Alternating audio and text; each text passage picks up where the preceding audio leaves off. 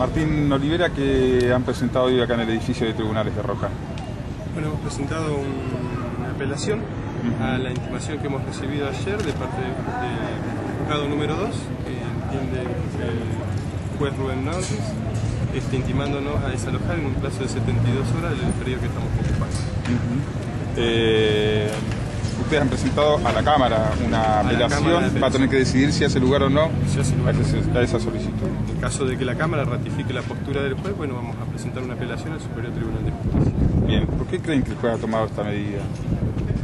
La verdad que no, no lo entendemos. Nosotros vamos a esperar ahora la, la ratificación de, de la Cámara de Apelaciones para bueno, ver si de alguna manera queda expuesto ¿no? la, la presión política que hay Presión política por parte de quién? por parte del municipio, por parte del municipio, que el municipio nos denuncie penalmente, se presente en la- como querellante para impulsar la causa, este, no, no dé ningún tipo de respuesta a una necesidad que hemos venido planteando por vía administrativa hace más de un año, este, nos parece una falta de respeto total hacia los vecinos de Roca. Olivera, ustedes están construyendo ya en, en Sí. esas tierras. Sí, sí, Ajá. sí, sí, sí. ¿Qué están construyendo estructuras de madera, de material? De material.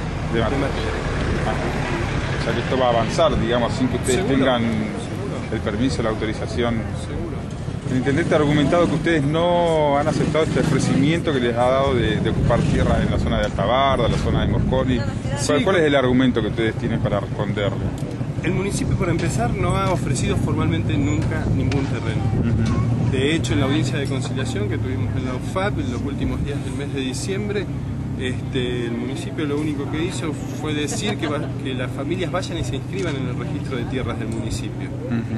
Pero, de hecho, como nunca se han acercado ni han conocido la problemática, hay un gran porcentaje de las familias que están ocupando esos terrenos que están inscritas en ese registro. ¿Mm? Pero formalmente nunca nos ofrecieron terrenos. y si se los ofrecieran, ¿ustedes se trasladarían? Lo analizaríamos. Pero si no hay un diálogo por parte del municipio es imposible saber. Bien. ¿De qué manera van a responder ustedes en caso de, en caso de que se concrete efectivamente este desalojo? ¿Para hacer caso a la orden judicial? No sabemos, es algo que vamos a terminar de analizar ahora en una asamblea que vamos a hacer esta noche como para empezar a analizar este